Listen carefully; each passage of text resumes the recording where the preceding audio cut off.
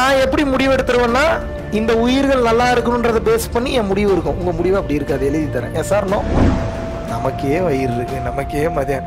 ஏன் நமக்கே வயிறு இருக்குன்னு யோசிக்கக்கூடிய அறிவுக்கு நம்மகிட்ட மறுபடியும் காசு இருக்குன்னு ஏன் தோண மாட்டேங்குது மறுபடியும் ஆப்பிள் வாங்கிக்கலாம்னு ஏன் தோண மாட்டேங்குது அந்த ரெண்டு ஆப்பிள் இப்படி கொடுத்துட்டு போடா லூசு இப்படி கொடுத்துட்டு போனால் அருள் சேர்ந்துருன்றேன் உங்களுக்கு அது புரிய மாட்டேங்குது.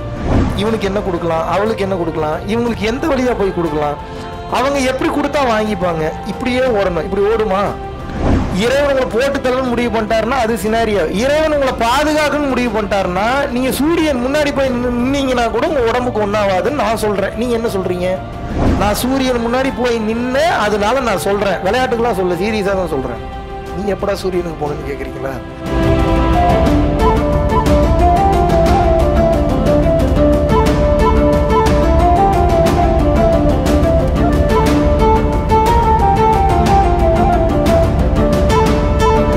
ஒவ்வொரு சூழ்நிலை வரும்போது நான் எப்படி முடிவெடுத்துருவேன்னா இந்த உயிர்கள் நல்லா இருக்கணுன்றத பேஸ் பண்ணி என் முடிவு இருக்கும். உங்கள் முடிவு அப்படி இருக்காது எழுதி தரேன். எஸ் இந்த பக்குவம் வந்துருச்சுன்னா நீங்கள் ஞானம் அடைஞ்சிட்டீங்க. நீங்கள் ஜீவன் முக்த நிலையை அடைந்து விட்டீர்கள் என்று பொருள். விச் மீன்ஸ் செத்துட்டீங்கன்னா உங்களுக்கு முக்தி கன்ஃபார்ம் இது ஆரம்பத்தில் அவ்வளோ சீக்கிரம் வராது. கொஞ்சம் கொஞ்சமாக மாறும். ஆரம்பத்தில் அவ்வளோ சீக்கிரம் வராது. கொஞ்சம் கொஞ்சமாக கொஞ்சம் கொஞ்சமாக கொஞ்சம் கொஞ்சமாக கொஞ்சம் கொஞ்சமாக கொஞ்சம் கொஞ்சமாக கொஞ்சம் கொஞ்சமாக கொஞ்சம் கொஞ்சமாக கொஞ்சம் கொஞ்சமாக மாற்றினால் ஒழிய இது மாறாது.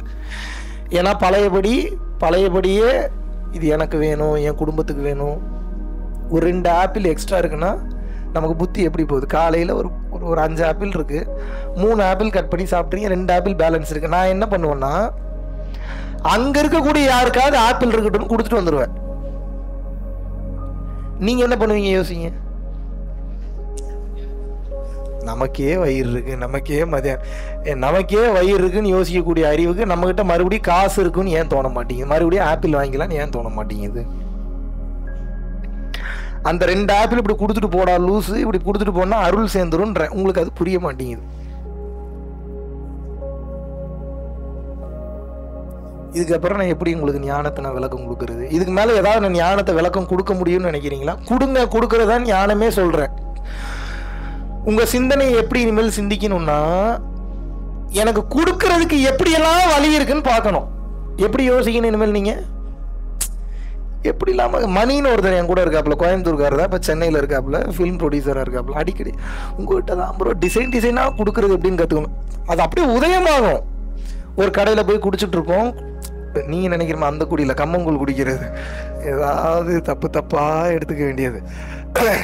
ஒரு கடையில் போய் கம்மங்கூழ் குடிச்சிட்டு இருப்போம். குடிச்சிட்டு இருக்கும்போது அந்த கம்மங்கூழோட பில்லே ஒரு எழுபது எண்பது ரூபா தான் வரும். ஆயிரம் ரூபா கொடுத்துட்டு வரும். அந்த பாட்டி என்ன ஆகும் வாங்கணும்னு? ஆயிரம் ரூபாய் வாங்கணும்னு.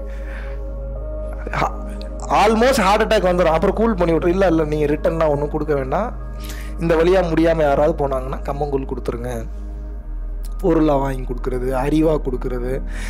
இப்படி கொடுக்கக்கூடிய தன்மை உங்க மைண்ட் செட்டே எப்படி வேலை செய்யணும்னா இப்போ எப்படி வேலை செய்யுதுன்னா எவன் குடும்பத்தை கெடுக்கலாம் எவனை எப்படி பிரச்சனை பண்ணலாம் எவனை எப்படி சாவடிக்கலாம் இவன் ஏன் இப்படி பிரச்சனை பண்றான் அவன் ஏன் அப்படி பிரச்சனை பண்ணலாம் எத்தனை கோடி சம்பாதிக்கலாம் இப்படி ஓடுது.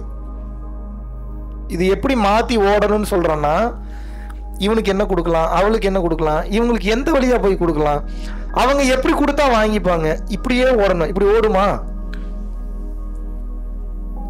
கொடுக்கறதுக்கு முதல்ல இருக்கணும்லங்கன்னு சொல்லாதீங்க. தப்பான ஸ்டேட்மெண்ட் உண்மையாவே கொடுக்கணும்னு நினைங்க நிறைய இருக்குவீங்க இதான் கரெக்டான ஸ்டேட்மெண்ட் இல்லைங்க கொடுத்தாலும் வர மாட்டேங்குது எத்தனை டைம் கொடுத்துட்டீங்க? கடந்த மாசத்துல எத்தனை பேருக்கு எவ்வளவு கொடுத்துட்டீங்க? உங்களோட மாத வருமானத்தை எடுத்துக்கோங்க. மாத வருமானத்துல டென் பர்சன்ட் கொடுத்துட்டீங்களா நீங்க? இல்ல ஃபைவ் பர்சன்டாவது கொடுத்துட்டீங்களா? த்ரீ பர்சன்ட் ஏதாவது கொடுத்துட்டீங்களா? அப்ப இருக்கிற வருமானத்திலே கொடுக்க தோணல. இறைவன் எப்படி புதுசா உங்களுக்கு ப்ராப்பர்ட்டி கொடுப்பாரு? கொடுப்பாரா? கொடுப்பாரா? இறைவன் உங்களை முடிக்கணும்னு நினைச்சிட்டாருன்னா நீங்க டைட்டானிக் கப்பல் பார்க்கறதுக்கு ஆறாயிரம் அடி நீங்க உள்ளுக்குள்ள தனியா ஒரு நீர்மூழ்கி கப்பல்ல போனாலும் வெடிச்சு செத்துருவீங்க. அப்படித்தானே? இறைவன் உங்களை போட்டு தள்ளணும் முடிவு பண்ணிட்டாருன்னா அது சினாரியோ இறைவன் உங்களை பாதுகாக்கணும்னு முடிவு பண்ணிட்டாருன்னா நீங்க சூரியன் முன்னாடி போய் நின்னீங்கன்னா கூட உங்க உடம்புக்கு ஒன்றாவாதுன்னு நான் சொல்றேன். நீங்க என்ன சொல்றீங்க? நான் சூரியன் முன்னாடி போய் நின்று அதனால நான் சொல்றேன். விளையாட்டுக்கெல்லாம் சொல்ல சீரியஸாக தான் சொல்றேன். நீ எப்படா சூரியனுக்கு போகணுன்னு கேட்குறீங்களா போனேன். உங்களுக்கு என்ன போனேன்னா கதையை மட்டும் கேளு. உங்களுக்கு என்ன விளக்கம் கொண்டு கொடுக்கணுமா நான்? இந்த தேதி இந்த நாள் இந்த நட்சத்திரம். இங்கே போய் சூரியன் மாதிரி அப்பியரானே என் உடம்பு ஒன்றாங்கண்ணா அப்படியா கொடுக்கணும்? இறைவனின் பரிபூர்ண அனுகிரகம் இருந்ததுன்னா சூரியன் முன்னாடி இருந்தாலும் ஒன்றாகாதுங்கிற இறைவனுடைய அனுகிரகம் இல்லைன்னா எங்கே போனாலும் செத்து போயிருவீங்கன்ற. அப்போ இறைவனுடைய அனுகிரகம் எப்போ கிடைக்கும்? எப்போ சாக்ரிஃபைஸ் பண்ணக்கூடிய ஆன்மாவா நீங்க மாறுறீங்களோ அப்பதான் இறைவனுடைய அருள் கிடைக்கும். இந்த உலகத்திலேயே ரொம்ப வலிமையான வார்த்தை சொல்லுங்க என்னன்னு சொல்லுங்க? சாக்ரிஃபைஸ் சாக்ரிஃபைஸ்னா தமிழ் என்னங்க? தியாகம் தியாகம். தியாக உணர்வு. இந்த தியாக உணர்வு உங்களுக்குள்ள எப்போ மலருதோ இறைவன் உங்களுக்குள்ள வந்துட்டாருன்னு அர்த்தம். ஏன் தெரியுமா? அம்மா உங்க இப்போ நீ- இது நான் என்ன அப்படியா? பெண்கள் என்ன இப்படியா? ஃபேக்டை பேசுகிறேன் மறைச்சி வச்சு பேசுறதுக்கு ஒன்றும் இல்லை. ஒரு ஆண் கிட்ட உன்னை கேட்டால் கூட கொடுத்துருவான். ஒரு பெண்ணுக்கு அந்த குணம் அவ்வளோ சீக்கிரம் வராது. ஏன் வராதுன்னா நீடு அதிகமாக உங்களுக்கு இருக்குது குடும்பத்தை பாதுகாக்கணும் புருஷனை பாதுகாக்கணும் சேர்த்து வைக்கணுன்ற மென்டாலிட்டி ஆண்களுக்கு அதிகமாக பெண்களுக்கு அதிகமாக அப்போ நீங்கள் பிடிச்சி வைக்கணும்னு தான் நினைப்பீங்க. கொடுக்கணுன்ற மைண்ட் செட் வராது. அது தப்புன்னு சொல்ல வரல. அதை மாற்றிக்கணும்னு சொல்ல வரேன். பத்தாதுன்ற. நீங்கள் ஓடுற கேம் ரொம்ப பெரிய கேமு நான் அப்படியா ஆமாம் நீங்கள் அப்படித்தான் மாற்றிக்கங்கன்னு போகும். நீ மாற்றலைன்னா ரொம்ப கஷ்டம். ஒரு ஆண் ஈஸியாக ஒரு விஷயத்த விட்டு கொடுத்துருவான். நீ கேட்டீங்கன்னா கொஞ்சம் கிறுக்குத்தனம் பிடிச்சிருச்சுன்னு வச்சுங்க ஏ ஏ ஏ இனை இனை இணை வச்சுக்க போ அப்படின்றவான் எப்போ வெறுப்புல கொடுப்பான் இல்லை சந்தோஷத்தில் கொடுப்பான் இல்லை நல்லா இருக்கணும்னு கொடுப்பான். ஒரு பெண்ணுக்கு அந்த எண்ணம் வரவே வராது. அது வரவே வராது. ஏன் அப்படின்னா சேர்த்து வைக்கணும். நாளைய பற்றிய எண்ணம் எதிர்காலத்தை பற்றிய சிந்தனை ஆண்களை விட பெண்களுக்கு மிகவும் அதிகம். விச் மீன்ஸ் நீ சம்பாரிச்சிட்டு வா நான் சேஃப்டி பண்ணிக்கிறேன். சேஃப்டி பண்ணிக்கிறேன்ற மென்டாலிட்டி இருக்கும்போது ஒரு ஒரு ரூபா கூட வீணா போக கூட சேர்த்து வைக்கணும்னா தான் ஏற்றுக்கிறேன் சேர்த்து வைக்கிற கான்செப்டுக்கு ஓகே ஆனா கேம் அது இல்லை. செலவு பண்றதும் இல்லை. கொடுக்கணும். தியாக உணர்வோடு இருக்கணும். இழப்பதற்கு நீங்க உங்களுடைய மனநிலையை பக்குவப்படுத்தணும்.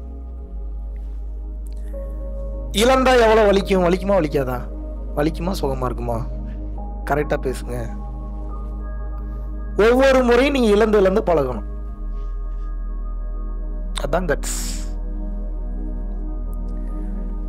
உங்களுக்காக கொடுக்கப்பட்டது உங்களுக்காக விதிக்கப்பட்டது அத்தனையும் உங்களுக்கு கிடைத்தாலும் கிடைக்கவில்லை என்றாலும் சாக்ரிஃபைஸ் பண்ணணும். வந்துருமா? வந்துருச்சுன்னா இறைவன் வந்துட்டார்னு அர்த்தம். ஏன்னு கேளுங்க. கொடுப்பவன் இறைவனாக மட்டும்தான் இருக்க முடியும். வேற ஒருத்தனால இருக்க முடியாது. எதிர்பார்ப்பில்லாமல் கொடுப்பவன். நல்லா புரிஞ்சுங்க எதிர்பார்ப்போட கொடுக்குறவன்ல இல்ல. எதிர்பார்ப்பில்லாமல் கொடுப்பவனும் இறைவனும் ஒன்று. இது கிளியரா இருக்கா இல்லையா? இதுல ரொம்ப கிளியரா இருங்க தயவு செஞ்சு. எதிர்பார்ப்பில்லாமல் ஒருத்தன் கொடுக்குறான்னா அவனுக்கு பேர் கடவுள். நல்லா மைண்ட்ல வச்சுக்கோங்க. ரோட்ல ஒரு பிச்சைக்கார அந்த மைண்ட் செட்ல இருந்தாலும் வெளியில பிச்சைக்கார உருவத்துல இருக்கிறான் உள்ளுக்குள் இறைவன் இருக்கிறார் என்பதை நீங்கள் உணர்ந்து விட வேண்டும். நான் அதனாலதான் யாவனாவது கொடுக்குற தன்மையில இருக்கிறேன்னா படார்னு காலில் விழுந்துரும். யோசிக்கவே மாட்டேன். எங்க இறைவனுடைய காட்சி கிடைக்கிறது அவ்வளோ ஈஸியா உங்களுக்கு. மலேசியா போனால் எல்லாரும் என் காலில் விழுவாங்க? நான் அங்கே ஒரு பத்து பேர் காலில் விழுவேன். சம்மந்தமே இல்லாமல் அதில் ஒருத்தர் வசதி கம்மி ஒருத்தர் இப்படி ஒருத்தர் அப்படி ஒருத்தர் அப்படி இருப்பார் ஒருத்தர் இப்படி. ஏன்? அவனுக்கு கொடுக்கக்கூடிய தன்மை இருக்கும். அவன் தெய்வமா மற்ற யாரை பார்த்தாலும் ஆத்திரம் தான் வருது. அவனை பார்த்தா தான் காலில் விழுகணும்னு தோணுது. ஏன்? காலில் விழுகிறதுன்றது தப்பான விஷயம் ஒன்றும் இல்லை. இதை நான் காலில் விழுகிறத என்கரேஜ் பண்ணுறக்கா சொல்ல நல்லா புரிஞ்சுக்கோங்க. ஒரு குருவோ அல்லது தகுதி பெற்ற ஒரு மனிதனிடமோ காலில் விழுந்து விழுந்து நீங்கள் பழகும் போது தான் உங்கள் ஈகோ டெஸ்ட்ராய் ஆகும். போது அதை கற்றுக்குங்க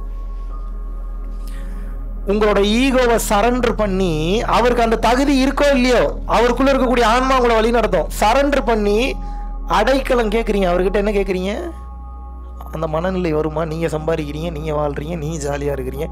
நான் ஏன்டா உன் காலில் வந்து உழுகணும்? அப்படித்தானே இருக்கு. உழுகணும். என் காலில் உழுகிறது இல்லை. உங்கள் காலிலேயே நீங்கள் மாற்றி மாற்றி உழுந்துக்கணும் அப்பப்போ. விழுகணும். ஏன் விழுகணும்? உங்கள் ஈகோவை நீங்களே உடைக்கிறதுக்கு உண்டான வாய்ப்பு அதெல்லாம். கால் இருக்குது அப்படின்னா இறைவன் கால்ன்ற ஒன்றை படைக்கலன்னு நினச்சி பாருங்கள் நடக்க முடியுமா? காலில் விழுக முடியுமா? அப்போ இறைவன் அவ்வளோ ஒரு அற்புதமான ஒரு காலை படைச்சிருக்கிறாருன்னா படார் படார்னு விழுந்துடணும் யோசி இந்த கிறுக்கனுங்க மென்டலுங்க ஏதாவது சொல்லும். குருவின் பாதத்தை சரணாகதி அடைவது என்பது it is opening the doorways to the டிவைன்னு சொல்கிறான் விச் மீன்ஸ் குரு உங்களுக்கு அருள் செய்ய மாட்டார். குருவிற்குள் இருக்கக்கூடிய இறை உங்களுக்கு அருள் செய்யும். ஏன்? அந்த சரணாகதிக்கு அப்பேற்பட்ட வலிமை என்பது உண்டு. இந்த இந்த பக்குவத்தில் இந்த தன்மையில் ஒவ்வொருத்தரும் அடுத்த நிலைக்கு போகணும்னு சொல்லி பிரார்த்தனை பண்ணிக்கிறேன். ஆல்மோஸ்ட் இப்போ லஞ்சு செஷன் வந்து வந்துருச்சு. அரை வயிறுக்கு சாப்பிடுங்க. அதிகமாக சாப்பிடாதீங்க. தீட்சை கொடுக்கும்போது ரொம்ப யூஸ்ஃபுல்லாக இருக்கும். முழுமையான எனர்ஜியை யார் உணரணும்னு நினைக்கிறீங்களோ ஆஃப் வயிறுக்கு மட்டும் சாப்பிடுங்க. ஃபுட்டு நிறையா இருக்கும். இருந்தாலும் அரை வயிறுக்கு சாப்பிடுங்க. ஹெவியான ஃபுட் எதாக இருந்தாலும் அவாய்ட் பண்ணிவிட்டு லைட் ஃபுட் மட்டும் சாப்பிடுங்க. கிளியர் பரம்பொருள் ஃபவுண்டேஷன் அப்படின்னு சொல்லிட்டு நீங்க யூடியூப்ல போய் டைப் பண்ணீங்கன்னா ஆயிரத்தி ஐநூறு வீடியோஸ்க்கு மேல வந்து நம்ம ரொம்ப கிளியரா மிகவும் தெளிவாக வெளிப்படையாக அனைத்து ரகசியங்களையும் வெளிப்படையாக கூறிவிட்டேன். ரொம்ப கிளியரா பேசியிருக்கேன். அந்த டுவெண்ட்டி ஃபோர் ஹவர் சத்சங்லாம் நீங்க பாத்தீங்க அப்படின்னா எல்லாத்தையுமே பேசியிருக்கேன் அந்த வீடியோஸ்ல சாப்பாடு இல்லாம தண்ணி இல்லாம கிளியரா கண்டினியூவா காலையில இருந்து நைட் வரைக்கும் பேசியிருக்கேன் நீங்க பாத்தீங்கன்னா தெரியும். அது போக ஏகப்பட்ட வீடியோஸ்ல ரொம்ப ப்ராக்டிக்கலாக பல விஷயங்களை வந்து ஷேர் பண்ணியிருக்கேன். வாழ்க்கையில ஏதாவது மாற்றத்தை நீங்க மாறணும் இல்லை உங்கள் லைஃப்பில் மாற்றிக்கணும்னு நீங்கள் நினச்சிங்கன்னா ஒன்று உங்கள் குழந்தைய பார்க்க வைங்க இல்லைன்னா நீங்கள் பாருங்கள் உங்கள் குழந்தைகளுக்கு தான் யார் என்பதை உணர வைங்க. தவறான பாதையில் நூறு சதவீதம் செல்ல மாட்டார்கள். அப்படியே சென்றாலும் தவறை உணர்ந்து அழுது வருது திருந்தி மீண்டும் சரியான பாதையில் பயணிக்க ஆரம்பித்து விடுவார்கள். நன்றி. வணக்கம்